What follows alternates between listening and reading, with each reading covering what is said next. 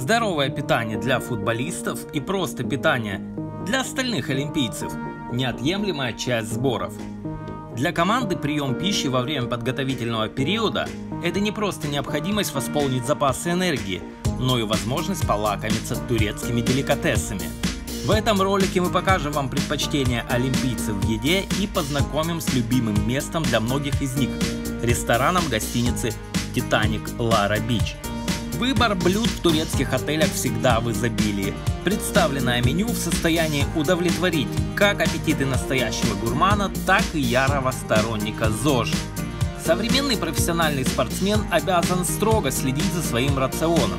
В Донецком клубе каждый футболист индивидуально подбирает себе питание, но есть одно общее правило – приходить на завтрак, обед и ужин нужно строго согласно командному расписанию – Дисциплина для Игоря Климовского – важнейшая составляющая продуктивной командной работы. Желаем вам вкусного дня и олимпийской энергии.